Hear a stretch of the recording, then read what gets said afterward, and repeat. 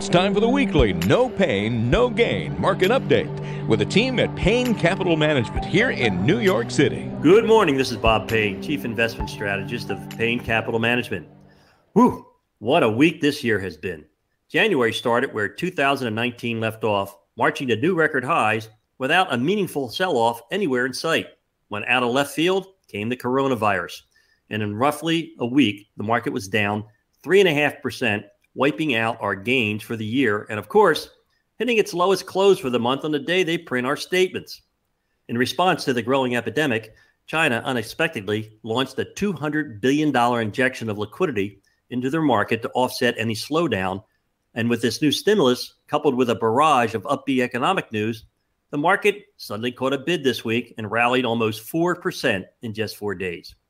Now, the jobs market kicked off 2020 in grand fashion, with the Labor Department reporting an increase of 291,000 in private payrolls for the best monthly gain since May of 2015, almost double analyst estimates. Followed by the jobs report on Friday, with the economy adding a better than expected 225,000 new jobs created in January, while the unemployment rate rose slightly to 3.6%. That's still a 50 year low. Now, earnings continue to come in strong with almost half of all S&P 500 companies reporting earnings so far this year.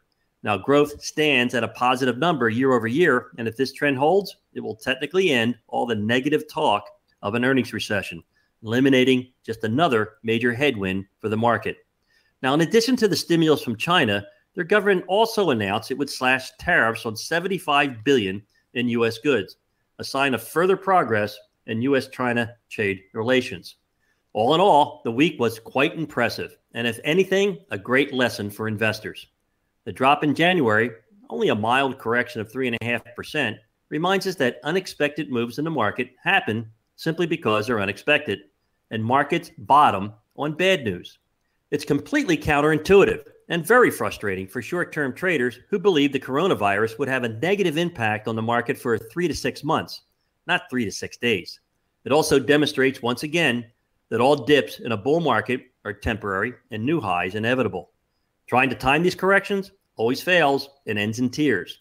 Bull market declines come and go fast, and you don't want to miss the gains that come in a big, booming bull market. Now, if you're sitting there wondering, do I have a portfolio that's appropriate to my goals, to my dreams, to my risk tolerance? Well, why sit there and wonder when you could know? You know, my son Ryan and I have over 75 years experience in building low cost, tax efficient, high performance portfolios for families just like yours. So why don't you give us a call or text 844 752 6692. That's 844 752 6692. Or simply call 844 PLAN NYC. That's 844 PLAN NYC. Hey, this is Bob Payne. I'm the Chief Investment Strategist of Payne Capital Management.